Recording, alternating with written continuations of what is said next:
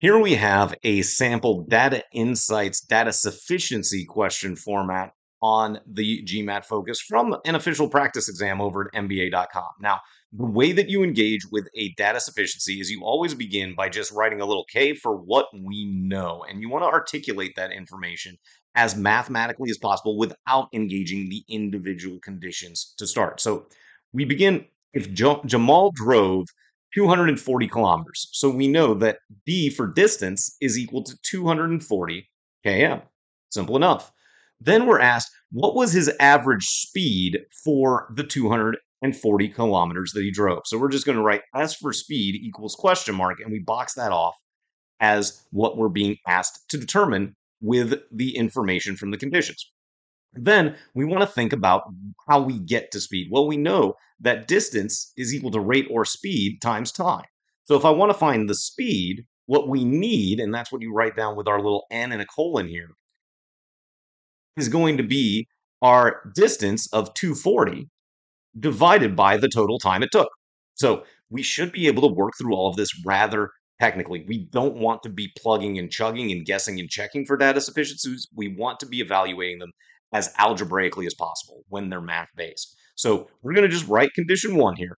And we read Jamal's average speed for the first 160 kilometers that he drove was 64 kilometers per hour. Well, that means that 160 divided by 64, so the distance divided by the rate, is going to be the time for the first 160 kilometers. And I am going to encourage you to use the tool provided by the exam. I've got a calculator. Remember to use it. We've got 160.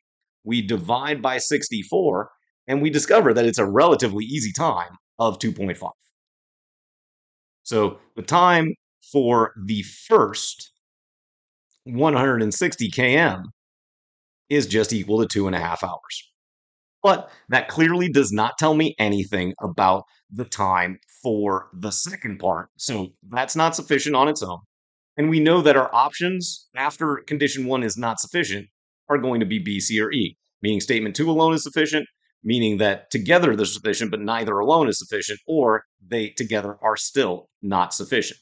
So then we move on and evaluate condition two alone, which reads Jamal's average speed for the last 160 kilometers that he drove was 64 kilometers per hour. Well, we've already done the math, so we know that 160 divided by 64 is going to be equal to 2.5 hours for the last 160 kilometers. Hopefully you're enjoying the tips in this video. And if you are, please do like it and consider subscribing so you can get notified when additional videos are released by MyGuru.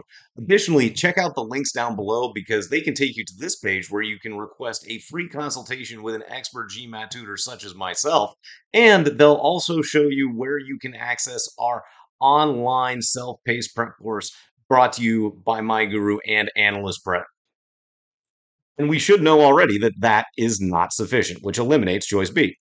But then we've got to think about this critically for our combo. Because we've actually got 320 kilometers here, and we've got to think about what the implications of that would be. So if the middle overlap is equal to one hour. So, meaning the middle 80 kilometers, because there's an overlap. If we've got 160 and 160, that adds up to 320.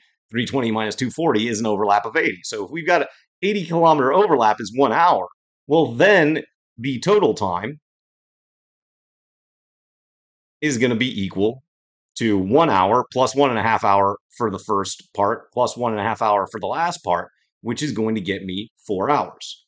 But if that middle 80 kilometer overlap was equal to two hours, which it certainly could be, well, then it's just two hours plus a half hour for the beginning and a half hour for the end.